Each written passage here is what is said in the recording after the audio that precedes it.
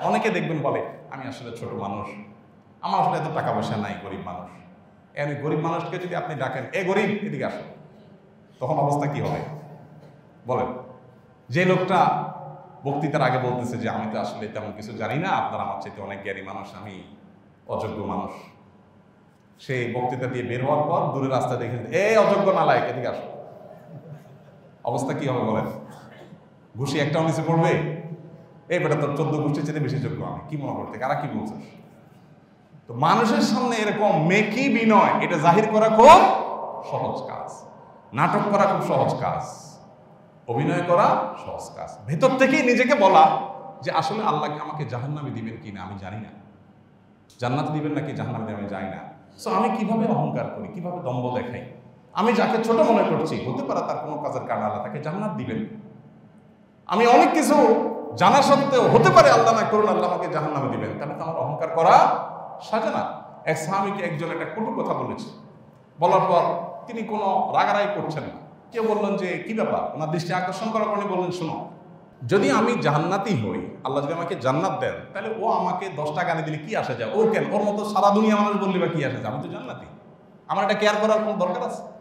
আর আল্লাহ না করে যদি আমি জাহান্নামি হই তো সে কেন? সারা পৃথিবীর মানুষ গালি দিলেও তো সেটা কম আমার জন্য। আমি তো নিজের সেটা নিয়ে টেনশনে থাকব। তার গালি শোনার সময় নাই।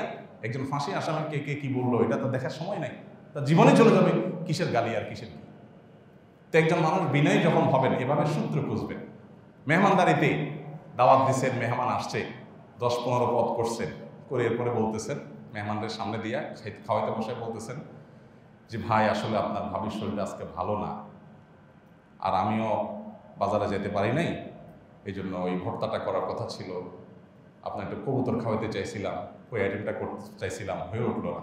মানে আপনার ভাবের শরীর খারাপ দেখে আমি আজকে দেখাতে পারলাম না। আমি আজকে বাজারে যেতে পারি না হলে আপনি দেখতেন যে আমি কী করি।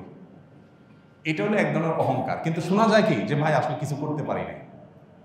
এটা যে সবসময় অহংকার তা না, কিছু কিছু ক্ষেত্রে এটা আমাদের ফর্মালিটিস কিন্তু কিছু কিছু ক্ষেত্রে আমার অহংকারের পর্যায়ে চলে যায়। অর্থাৎ অহংকার এমন একটা জিনিস প্রকাশ হবে বিনয়ের।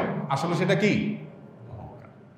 এই জন্য ভাই, অভিনয় নাটক না করে, অর্থাৎ বিনয় বা তাওয়াজের অভিনয় না করে সত্যিকারের ভেতর থেকে বিনয়ী হওয়ার চেষ্টা করতে হবে। তা না হলে দুনিয়াতে আল্লাহ তালা বেজ্জত করবেন। কোনো অহংকারীকে আল্লাহ তালা দুনিয়াতে ছাড় দেন, ছেড়ে দেন নাই। প্রত্যেকটা অহংকারীকে আল্লাহ তালা ছাড় দিয়েছেন, কিন্তু ছেড়ে দেন নাই, কোনো কোনো সময় ধরেছেন। আল্লাহ তালা আমাদের জাপিত জীবনের প্রত্যেকটা ক্ষেত্রে আমাদেরকে আল্লাহ তালা বিনয় প্রদর্শন করার তৌফিক দান।